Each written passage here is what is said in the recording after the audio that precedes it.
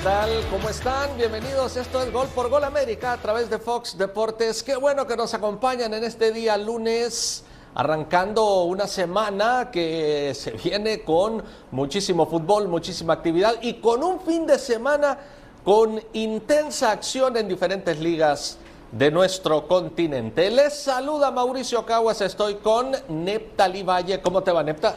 Todo bien, Mauricio, un gusto acompañarlo, igual a todas las personas que siempre están pendientes de Gol por Gol América. Ya lo comentó Mauricio, ya terminó la fecha FIFA, ya lo que pasó con selecciones, le damos vuelta a la hoja y nos metemos nuevamente al asunto de ligas, y no a cualquier etapa, sino a una etapa definitiva en algunas competencias. En la Copa de la Liga Argentina, por ejemplo, faltan dos fechas para que termine la etapa regular, en México ya entramos en la recta final para ver cómo quedan las posiciones. Se viene lo más interesante en los torneos locales y también internacionales, porque esta semana es de Champions en CONCACAF, la Copa de Campeones. América se mantiene de pie, Inter Miami, Monterrey. Se viene una semana muy movida.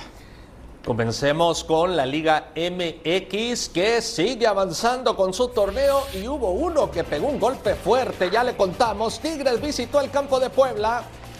Llegaba el aviso en el minuto 18, ahora Puebla responde, toque atrás, disparo, golazo de Alberto Herrera, lo estaba ganando Puebla. Era el 1-0 en el partido, 23 minutos, qué remate el que sacó para darle la ventaja a los suyos. Luego este disparo al poste, epa, estaban sorprendiendo a Tigres, pero claro, este equipo es muy complicado, sabemos el poderío de Tigres.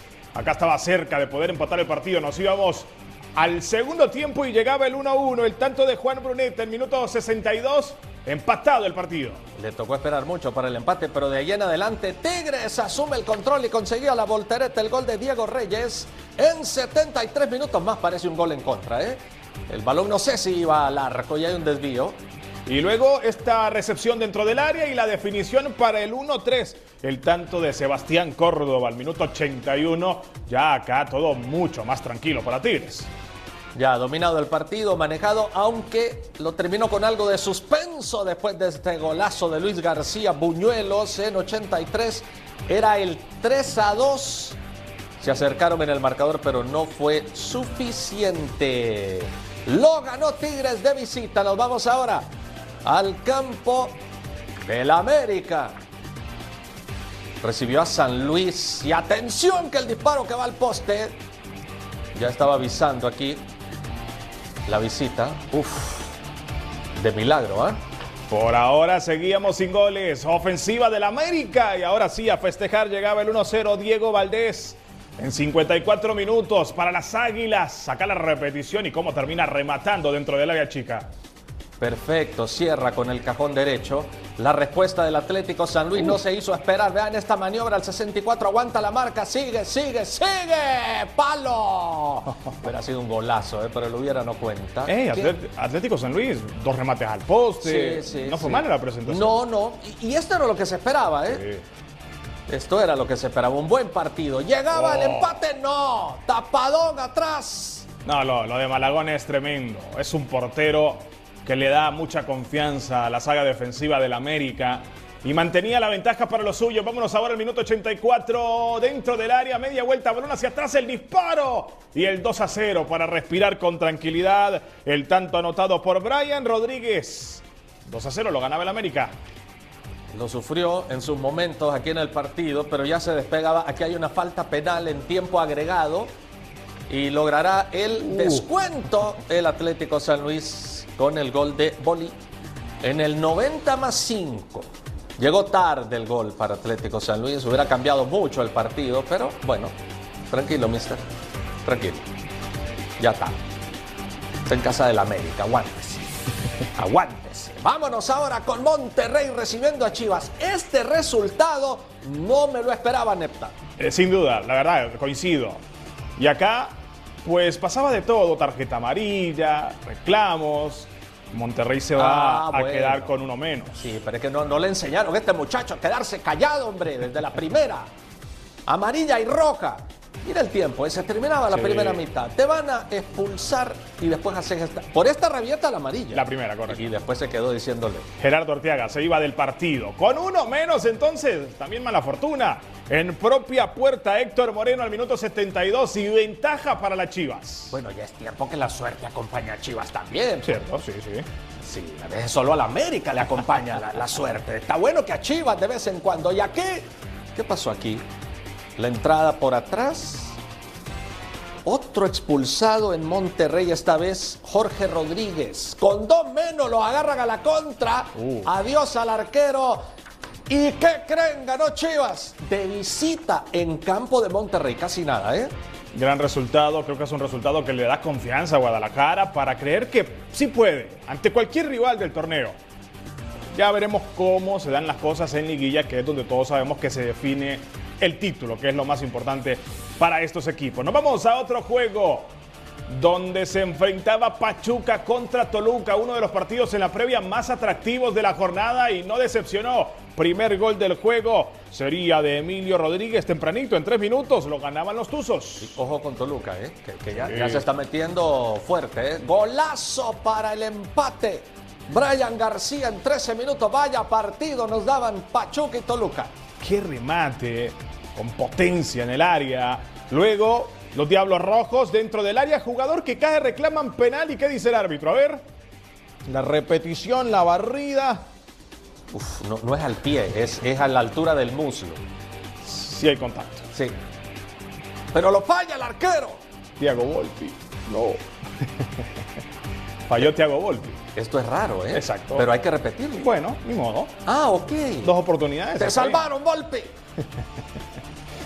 Y ahí lo ganaba Toluca, 1-2. Y después llegaba el 1-3. Alexis Vega al minuto 44 lo ganaba Toluca. El descuento para el Pachuca de Brian González en el 82 se quedó con los tres puntos Toluca. Le ha ido bien a Alexis Vega el cambio. ¿eh? Sí. Le, ha- le ha- le ha venido bien, digamos. Sabemos que no salió de la mejor forma de Chivas al final, pero bueno, ahora está con Toluca. Estos son los resultados de la fecha. Lo perdió Puebla ante Tigres, lo ganó el América ante Atlético San Luis, lo ganó Mazatlán a Tijuana que sigue sin ganar. 13 partidos y no gana Tijuana. Monterrey cayó ante Chivas, Pachuca en casa cayó ante Toluca, 0-0 Pumas Cruz Azul, Atlas cayó ante Querétaro, Necaxa no pudo ante León y Juárez le ganó 2-1 a Santos Laguna en duelo que cerró la fecha justamente ayer por la noche a través de la pantalla de Fox Deportes. Veamos cómo queda entonces la tabla de posiciones tras lo sucedido el fin de semana en la Liga MX. Hay líder y es el América con 28 puntos por mejor diferencia de goles en comparación a Monterrey que también tiene 28 unidades. En el tercer lugar ya está Toluca con 26 puntos. En el cuarto Tigres con 24. En el quinto puesto Cruz Azul con 23. En el sexto lugar Pachuca con 22. Necaxa con 21. Querétaro con 20. León con 20. Y Guadalajara con 19. Pero sigue ahí. En una zona compleja. Sí, ya logró despegarse de Pumas en puntos. Estaban con igual cantidad de puntos. Cierto. Ya se despegó porque Pumas no pudo pasar del empate ante Cruz Azul. Ojo que no era un partido fácil tampoco para Pumas. Y la nota es para Chivas. A ver si este resultado sirve para impulsarlos en el tramo final del torneo. Son 17 fechas. Correcto. Ya se jugaron 13. El que parpadea no la va a terminar bien. Y para seguir hablando sobre lo que ha sucedido en esta fecha 13, hacemos contacto con nuestros compañeros de punto final. A ver, cuéntenos su valoración de la jornada. Gol por Gol América, como siempre, un verdadero placer. Gracias por acompañarnos junto a Cecilio de los Santos, mi Ceci y mi Toto Cayo Jorge Murrieta. Hablamos de lo mejor y lo peor del fútbol mexicano en la jornada 13 de este torneo Clausura 2024. Arranquemos siendo positivos. Lo mejor, mi Ceci. ¿Qué equipo y por qué?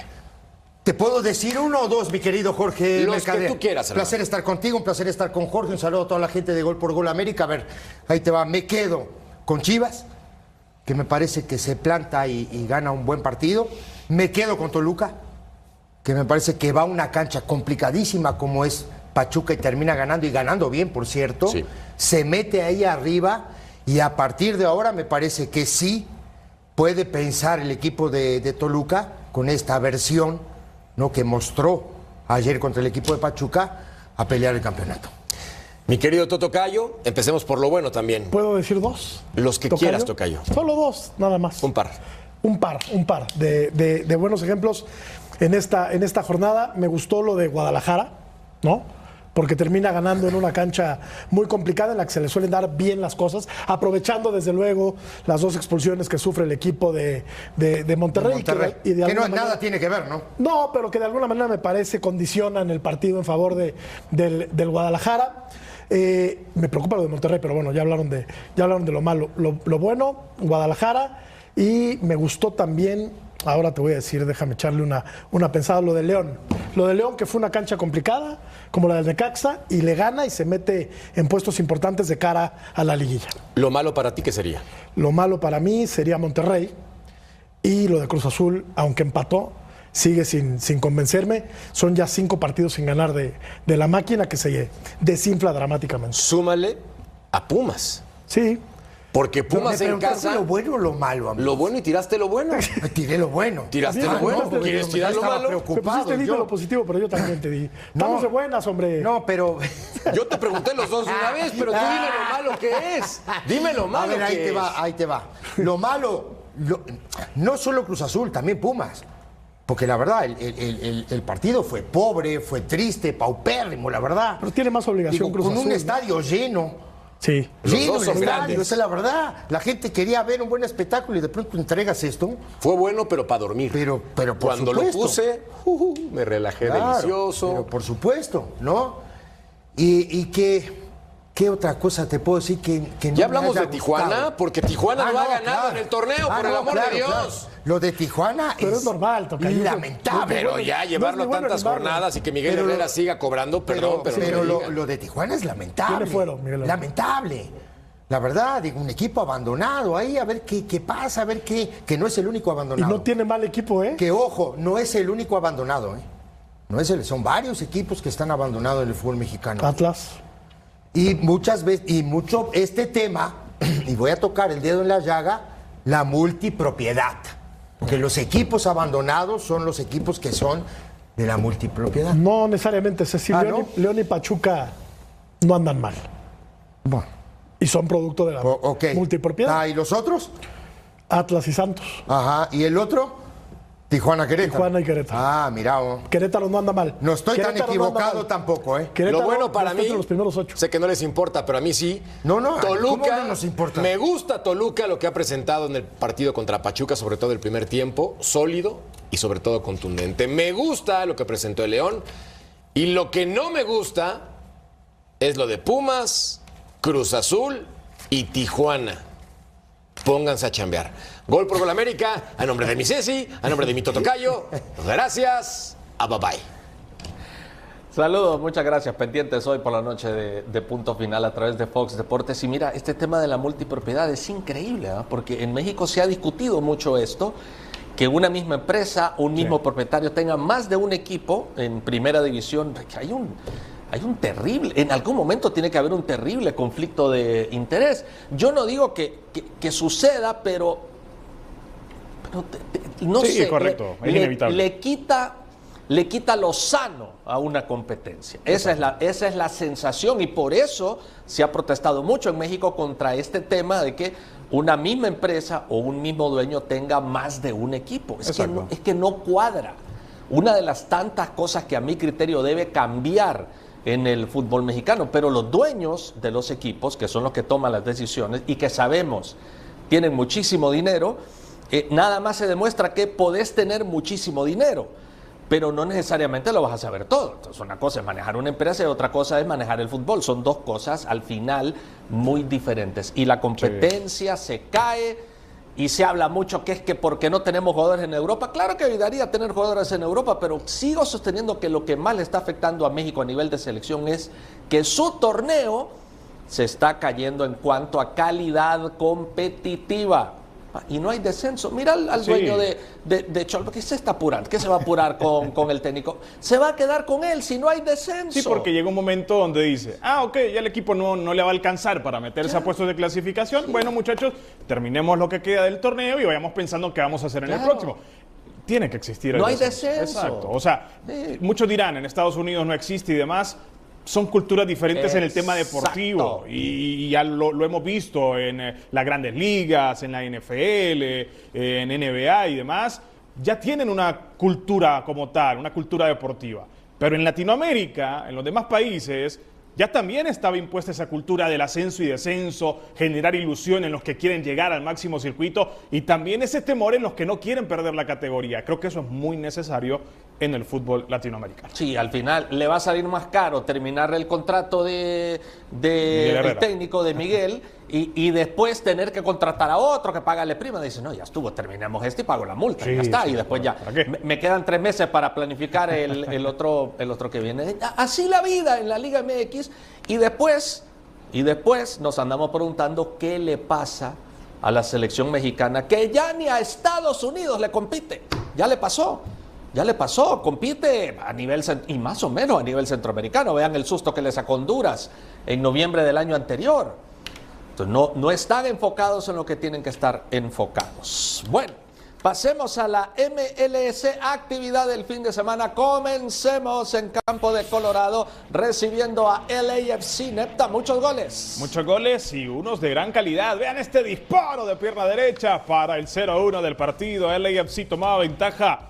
Edward Atuesta en 8 minutos. Lo ganaban los visitantes. Qué golazo. Llegaba el empate de la visita, perdón, del local. Moisés Bombito al 38. Desataba la fiesta en la grada. Estábamos 1-1. Vámonos ahora al minuto 76. Vean qué locura del partido en el cierre. Van a ser 15 minutos de una total locura dentro del área. ¡Qué golazo! Espectacular lo que termina siendo David Martínez Morales en 76. Y así el AFC tomaba la ventaja. Tomó tecito y todo, el, el, el- el British, sí, como británico. Disparo, estamos 2 a 2.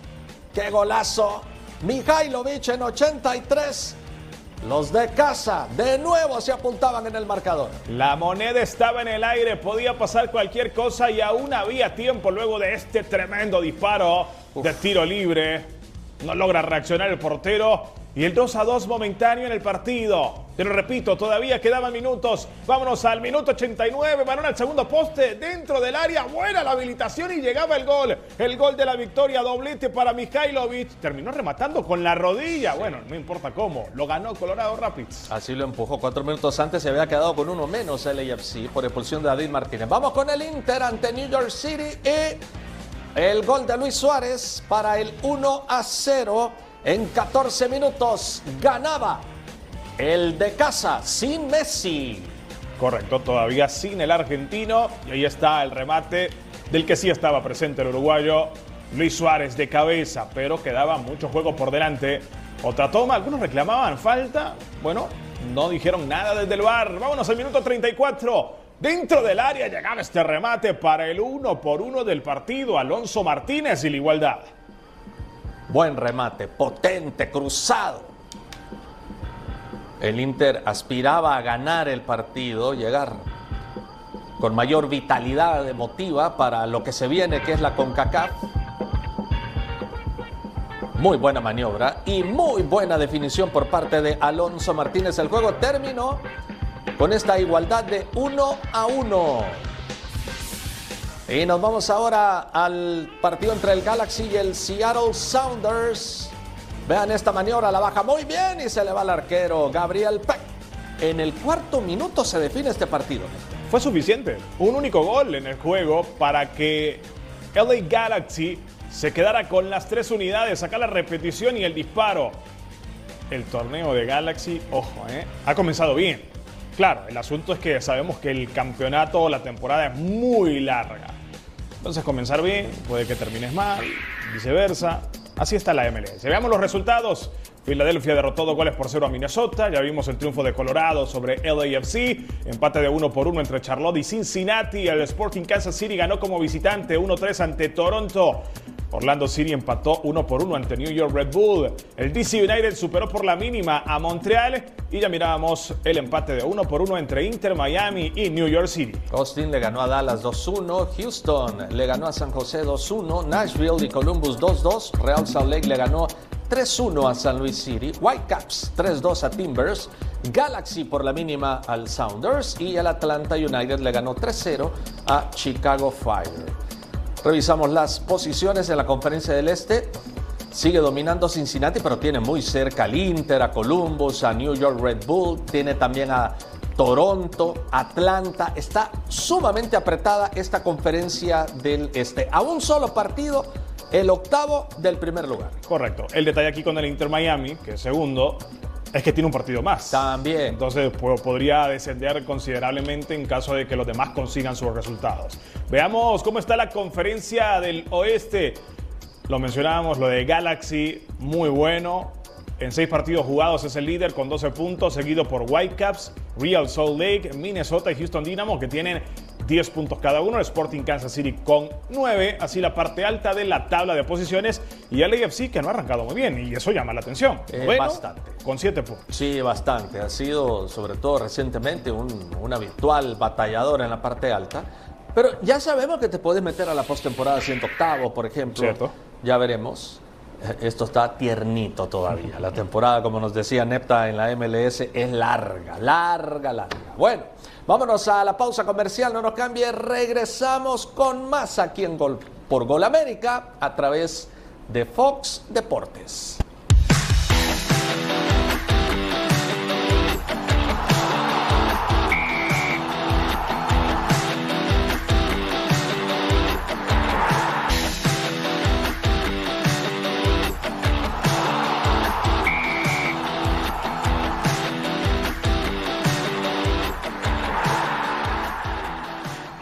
Gracias por continuar con nosotros. Esto es Gol por Gol América y seguimos revisando lo sucedido el fin de semana en las ligas del continente. Vámonos ahora a Centroamérica. Tuvimos algunas jornadas que se desarrollaron y comenzamos con el fútbol salvadoreño. Partidazo en la previa alianza contra Águila y arrancando el partido en 28 segundos, error en defensa y Águila tomaba Alianza tomaba la ventaja con este gol de Ángelo Rodríguez tempranito. Increíble. ¿Cómo arrancar un partido de esta manera? No, no, impresionante. Espantoso el rezago y uno estaba en clase, el otro no. Y aprovecha bien. Ahora, los problemas para Águila. Está con uno menos en el partido porque ya se había expulsado el minuto 35 Darwin Serén y así se van al ataque. Vamos sobre el minuto 57. Última línea, viene centro. Llega el cabezazo para igualar cartones. Carlos Andrés Salazar, repito, con uno menos y se le iba a poner peor el asunto. Sí, porque iban a tener otra expulsión de Dixon Rivas al minuto 68. Así que tomando en cuenta ese entorno, el empate no es malo para Buenísimo Águila. resultado. Buenísimo Como resultado. visitante contra Alianza. A quien sí le fue mal fue al FAS, que jugando como local se enfrentaba a Luis Ángel Firpo, aquí muy cerca, el conjunto tigrillo de tomar ventaja en el campo que, que vemos que no está en muy buenas No, condiciones. eso te iba a decir, es impresentable lo del campo. Eh, Hemos visto muchos partidos acá en, en- en que el campo realmente está en condiciones bastante decentes, pero lo, lo- lo que vemos aquí es terrible. Llega el primero del partido, es un golazo del Firpo, Steven Vázquez al 51. ¿Eso es un golazo? Sí, a mí me gustó. No, no, está, está bien. Me gustó, mira, no llega el arquero, ¿eh? Solo lo quiero preparar para lo que se viene. Ah, ¿hay algo mejor? Ah, bueno, no sé. Veamos, balón en el medio campo. Steven Vázquez, media vuelta, el disparo No, de Steven Vázquez. Y el 0-2 en el partido, doblete para él y lo ganaba el Firpo. Sí, este está mejor. Qué golazo, con toda la intención, vio adelantado al arquero, la estaba pasando muy mal el Faz. Firpo crecidísimo, vean cómo movían la pelota. No, no, por Dios, por Dios, qué pincelada, qué golazo. El tercero, Guillerme. 65 minutos. No, no, mira la clase. Oh, qué Dios. bien, sí. Ante la llegada del defensor y, y claro, ve al guardameta con ese espacio. Después adelantan la pelota y no. Oh, terrible, terrible. Pasamos, No, no, pasamos de ver fútbol a lucha libre. No, no, terrible lo que le hizo, terrible. Ese es una llave, un lazo al cuello. Sí, sí. Juan Barahona se iba expulsado del partido. Lo agarró arriba, ese fue el problema, en una zona un poquito delicada. Y aquí, diagonal retrasada y gol. Cuatro. Jamal Williams.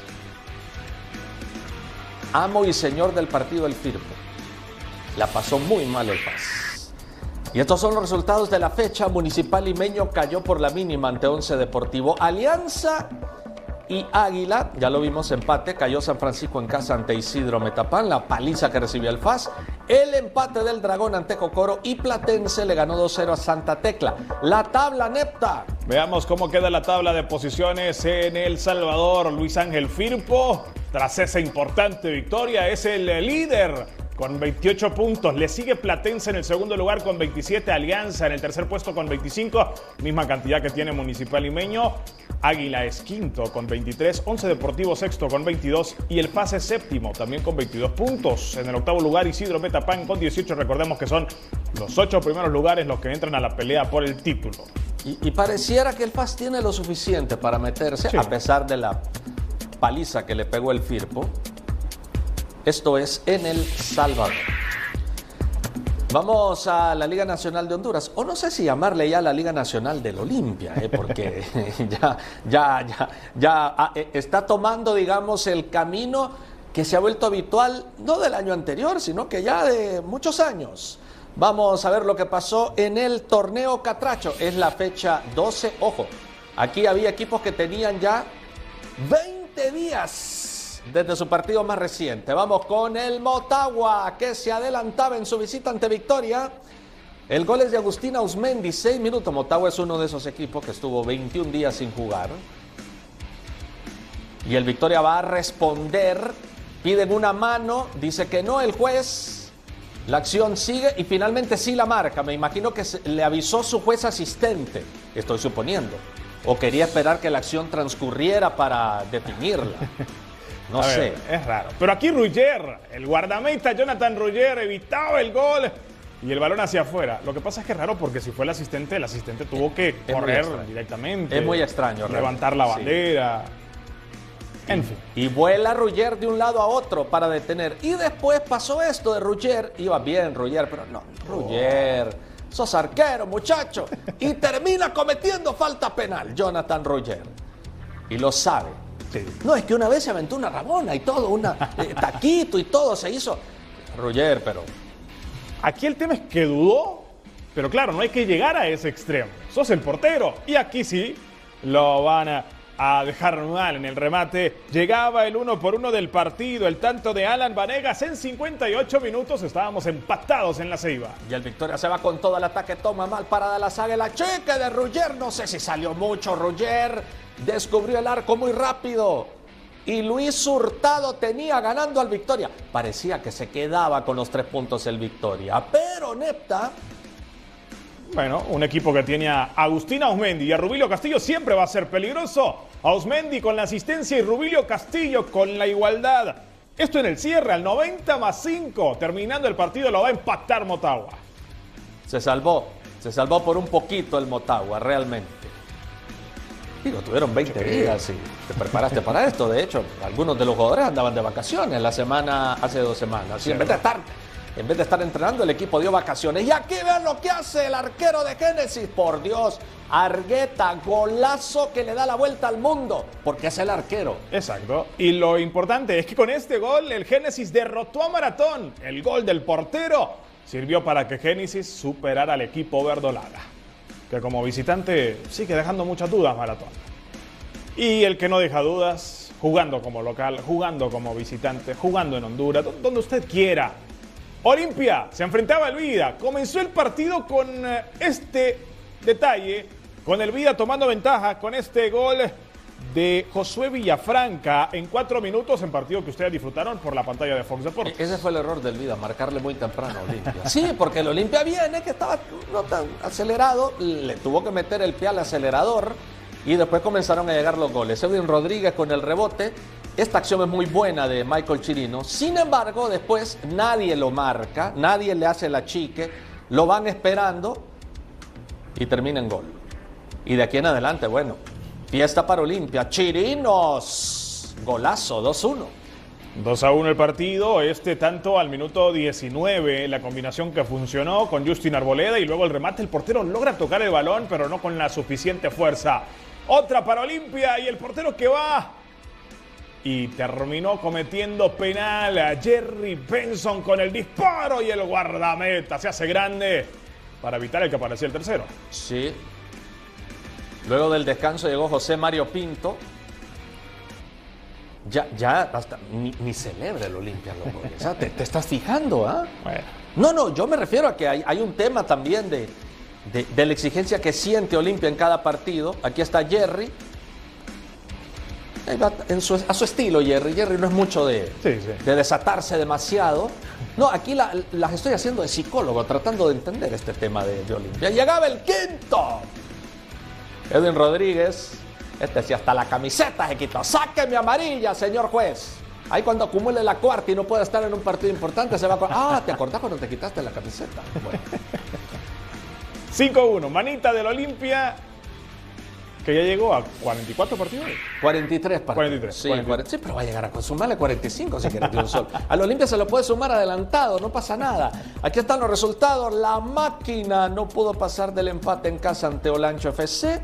Ya vimos el empate de Victoria, la derrota de Maratón de visitante Génesis, el triunfo de Olimpia y Lobos le ganó a Real Sociedad 1 a 0 y reduce un poco la distancia que tiene en el tema de evitar el descenso. El Olimpia, hoy sí, ya agarró el liderato solito. Y saben qué, no lo van a bajar. Motagua con 21. Sigan dando de vacaciones. Maratón llegó a 10, se quedó con 19. Olancho llegó a 18. Ojo con Potros. eh, Mira que ya empieza a meterse en el pelotón eh, más alto. Real España se queda con 17. Génesis llegó a 16. Real Sociedad con 15. Victoria 11. Lobos con 9, al igual que el Vida. Eh, pregunta, nada más. Sí, no me. No me No, te- tengo que hacer la pregunta. Sí, dale, pregunta, pregunta. Dale. Porque lo ha dicho bastantes veces, entonces yo, Sí. yo de repente no estoy muy enterado, quiero conocer las circunstancias. ¿Cómo es eso de Motagua, vacaciones? ¿Cómo está el asunto? Es muy, muy fácil. Eh, se, se abrió la ventana. Motagua jugó el 10 de marzo, su partido más reciente antes de los encuentros de fin de semana. Eh, Llegó la concentración de liga, se suspendieron los clásicos, ¿te acordás? Cierto. Y la semana previa a Semana Santa eh, vimos jugadores posteando fotografías que estaban de vacaciones. Por ejemplo, Olimpia también dio descanso. Pero el Olimpia puede darse el lujo de dar descanso si los tiene a todos bailando en la palma de la mano, por Dios.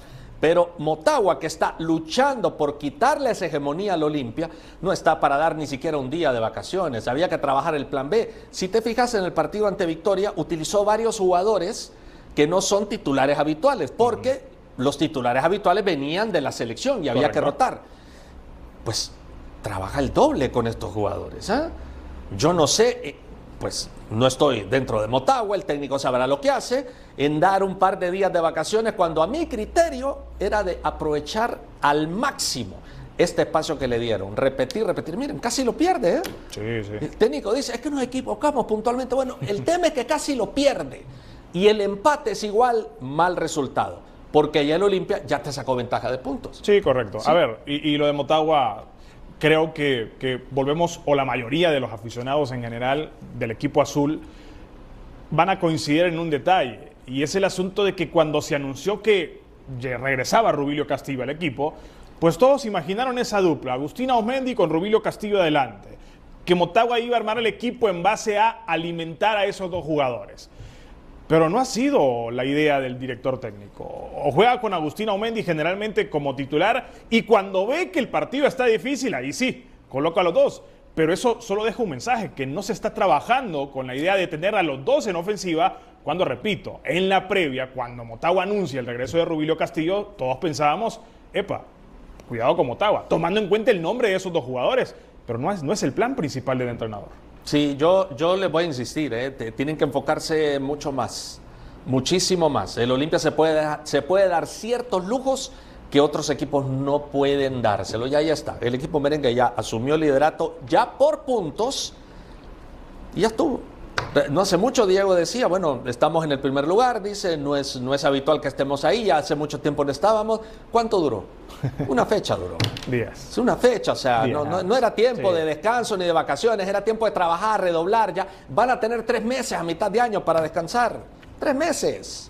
Bueno, que siga ganando Olimpia, por eso les digo, la Liga Nacional del Olimpia. Pausa comercial, no nos cambie después de la pausa. Copa de la Liga Argentina. Ya retornamos.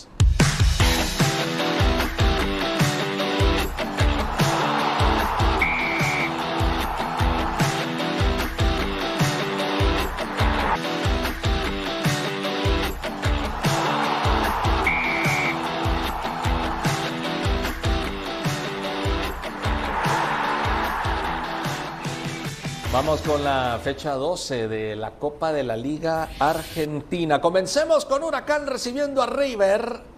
Y esto no es habitual, ¿eh? Eh, ver a River perdiendo. No es que no pierda. Pero es que ya estamos en una etapa decisiva y la tabla está apretadita. Y ven esta salida a la contra, trazo largo, agárrenme si pueden el achique del arcón, gol de Huracán. Walter Mazanti en 78 que por cierto se fue expulsado. ¿Sabe por qué? Ahí se fue quitando la camiseta. se les olvida. Exacto. Se fue expulsado al minuto 80, un minutito después. Y ahí está. Es que tenía amarilla. Correcto. Se le olvidó que tenía amarilla. Para fortuna de él, el resultado no cambió Sí. y lo ganó Huracán. Pero imagínense que River hubiera reaccionado y. Ganó Boca. Y, y era un partido clave, un Oh. juego de alta importancia contra San Lorenzo, duelo directo de equipos que pelean por clasificarse, jugador que cae dentro del área y el árbitro dice que hay penal a favor de San Lorenzo, oportunidad para que los visitantes tomaran ventaja. Y vamos a ver si la aprovecha. Oh. Ah, no, no, muchacho, te me agrandaste. Llegaba el 1-0. Adán Vareiro en el noveno minuto. Ahí está, ¿ves? Hacer esto en la bombonera. Como dicen los argentinos. Llegó el empate. ¿Quién anota el empate en esta? El uruguayo Edinson Cavani demostrando que no es casualidad, que sus últimos partidos está levantando su nivel, su olfato goleador y el uno por uno del juego al minuto 42 de partido. Sí, solo era que rompiera esa sequía y después se vendrían más goles. El ataque de Boca termina con la voltereta al marcador y el gol del triunfo. Miguel Merentiel en 84, tres puntos valiosos. Gran resultado para Boca Juniors. Porque repito, era un duelo directo de equipos que están peleando por clasificarse a la siguiente etapa de la Copa de la Liga Argentina. Veamos algunos de los resultados más destacados. Triunfo de Barraca Central, triunfo de Argentinos Juniors, triunfo de Defensa y Justicia, ganó Belgrano. El triunfo de Huracán sobre River Plate, el triunfo de Boca Juniors. En otros resultados, Racing superó a Central Córdoba, ganó Talleres, Independiente empató uno por uno Sí. ante Atlético Tucumán. Muy criticado ahí el Independiente y su técnico. Pero bueno, por lo menos rescataron el empate por jugarse Platense Godoy Cruz. Sigamos platicando y veamos las posiciones, porque en el grupo A, vean a dónde cae River. Claro, en puntos está ahí, Sí. pero cuidado, ¿eh? porque ya se nos está terminando. Solo faltan dos fechas. Dos fechas nada más. Dos fechas. Y solo clasifican cuatro. los primeros cuatro lugares. Y ahorita no hay garantía. Tiene a Independiente, tiene a Vélez. Está apretado. En el grupo B, ¿dónde anda Boca? Ya se va acercando, ¿eh? Se va acercando. Y eso que todavía tiene juego pendiente en relación a varios que están arriba de ellos en la tabla. Así está el tema en la Copa de la Liga Argentina y para hablar más a profundidad sobre ello, saludamos a nuestro compañero Gustavo Martínez desde Argentina. Gustavo, como siempre es un gusto que nos acompañes aquí en Gol por Gol América. Y bueno, hablemos de lo sucedido el fin de semana. Comencemos con la noticia. River Plate perdió su invicto, cayó por fin en este campeonato y tuvimos que esperar hasta la jornada 12. Saludos, Gustavo. Saludos, Neptalí y obviamente Mauricio y a toda la audiencia de Gol por Gol América con esas eh, novedades. Eh, mucha atención eh, con lo de River porque después de varios partidos logra su derrota en este campeonato ya sobre el Real. Está pensando obviamente en la Copa Libertadores de América ya que se encuentra en suelo bolivariano para afrontar el partido de la jornada del martes ante Deportivo Táchira Luego, obviamente, de este actuación un poco extraña ante el conjunto del Globo, del cual espera recuperarse prontamente. Le quedan dos rivales. El siguiente en el calendario será Rosario Central y veremos si River eh, sigue mantenido, porque en este sentido las cosas como ustedes las repasaban en breve en la tabla están eh, un poco muy cercanas y cualquier error eh, por parte de varios equipos que están ahí luchando por avanzar a la fase final de la Copa de la Liga puede generar eh,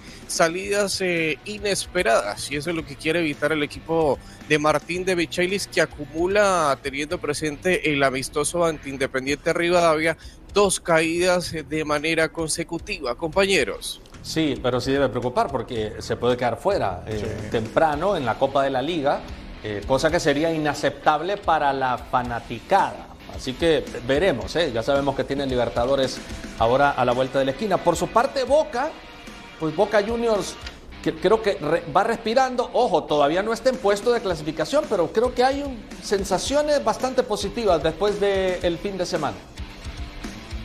Efectivamente, Mauricio se le ganó un rival que en los últimos años le vería complicando la situación. Lo hizo de alguna manera apropiada, ya que el Cerey se dominó en grandes ajes de este compromiso disputado en la bombonera y al final se le dio el triunfo que contó también con novedades un poco desalentadoras. Cavani se retiró del campo en el primer episodio.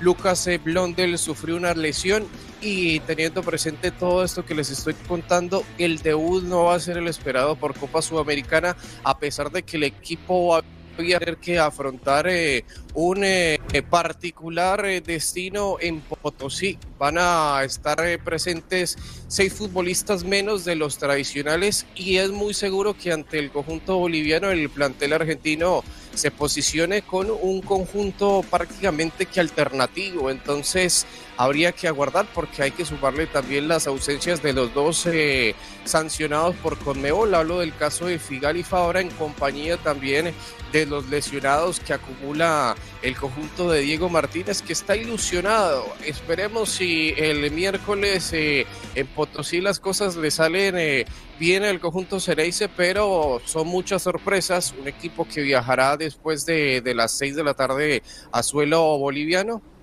para empezar este camino con la intención de ganar en la Copa Sudamericana, compañeros. Bueno, estaremos atentos entonces, objetivos diferentes, eso sí, River con Copa Libertadores, Boca con Copa Sudamericana, pero esas son las exigencias de los equipos grandes, estar pendientes de todos los torneos. Y ya vemos que ni Boca ni River están cómodos en la Copa de la Liga Argentina y aún así tienen que estar o hacer lo suyo a nivel internacional. Así que veremos qué pasa en estos próximos días. Sí, muy competitivo el torneo en Argentina, realmente eh, no, no, sabes por dónde te puede llegar esa, esa derrota. Gustavo, gracias, abrazo. A ustedes, compañeros, nos reencontraremos en otro momento. Saludos para todos. Gracias, Gustavo Martínez desde Argentina. Hacemos pausa comercial, pero no nos cambie. Vamos a hablar de fútbol colombiano, así que al retorno, siempre a través de Fox Deportes.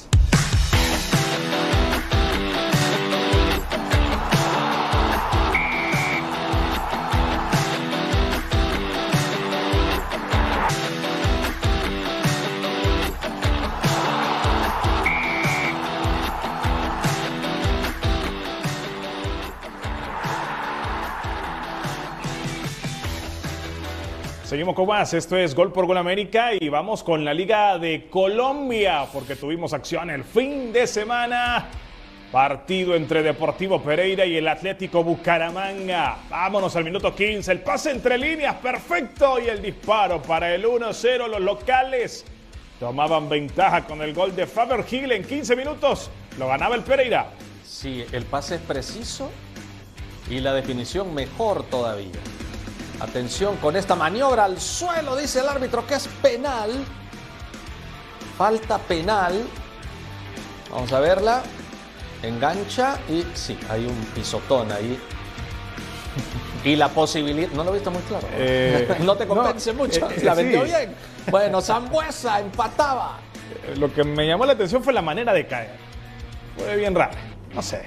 1-1, ahí estaba el gol. Lo empataba Bucaramanga, pero quedaba todavía espacio en el partido. Sector derecho del ataque. Atentos que se viene el centro y de cabeza. Llegaba el tanto de John Emerson Córdoba. Lo va a ganar el Atlético Bucaramanga, el equipo dirigido por Rafael Dudamel. Y es líder de la Liga de Colombia. Qué buen cabezazo. Perfecto. Martilla, con calidad. Estamos ahora con el encuentro entre el Independiente de Medellín y el América. 1-0. Qué golazo de Pablo Lima. Se adelantaba el equipo de casa en el octavo minuto. Lo que no sabía el equipo de casa era lo que le iba a tocar vivir de ahí en adelante, Nepta. El América de Cali se irá al ataque dentro del área y estábamos uno por uno. La definición de Rodrigo Holgado en 10 minutos. Igualado el partido. Bueno el pase, buena la triangulación y excelente la manera de definir. Y luego llegaba otro más. Se fue una superioridad tremenda la que fueron desarrollando. ¿ah? El gol de Cristian Barrios que marcaría otro antes de terminar la primera mitad. Se había volcado por completo al ataque. El equipo local está solo contra el mundo y aún así se las arregla para hacer esto. El 3-1. Bueno, América de Cali sacando un gran resultado. 1-3, vemos la repetición, cómo aguanta la marca, sigue con el balón, hasta que se quitó al defensor para definir y así ampliar la ventaja en el partido. No logró Independiente Medellín hacer respetar su localía en este juego correspondiente a la jornada 14 de la Liga de Colombia. Y faltaba la cereza del pastel. Segundo tiempo al 87. Llegó el cuarto. Michael Barrios. Se fue con paliza el Independiente de Medellín en casa ante el América. Bien. Gran triunfo para América en sus aspiraciones. Y la verdad está muy interesante el torneo en Colombia. Deportes Tolima y Bucaramanga comparten el liderato, Santa Fe es tercero. Lo que llama la atención es de repente ver a otros equipos tradicionales en la parte baja de la tabla. Millonarios es noveno en la tabla de posiciones, Atlético Nacional décimo. Y ojo que estamos llegando al final de la primera etapa del campeonato. Así que hay que estar muy atentos a lo que pueda pasar en los próximos partidos. Falta todavía, sí es, falta. Bueno, esta semana ya lo hablabas, ¿eh? Semana de Champions de CONCACAF. Correcto, es nuestra Champions, es nuestra Liga, Co- Copa de Campeones, no Liga, es nuestra Copa de Campeones y está esa pelea por ser el ganador del título y clasificar al Mundial de Clubes de 2025. Todo está apuntando a que Messi no va a estar Exacto, en la ida. es correcto. Todo está- hasta hay dudas porque no se ha hablado, es curioso porque no se escucha un tiempo de recuperación de Messi, solo se dice día a día. Correcto. Veremos cómo va, pero todo está apuntando a que no logrará llegar para el partido de ida. Tal vez estará para la vuelta, veremos. Y si es el caso, me imagino que habrá mucha alegría en Monterrey porque la vuelta será en tierra mexicana. Exactamente, y ya no hay boletos. ya no hay. Se agotaron los boletos. Sí, se, que- agota- se se agotó la boletería. Lo que se genera, veremos. Nos despedimos. Nos vamos, gracias. Será hasta la próxima.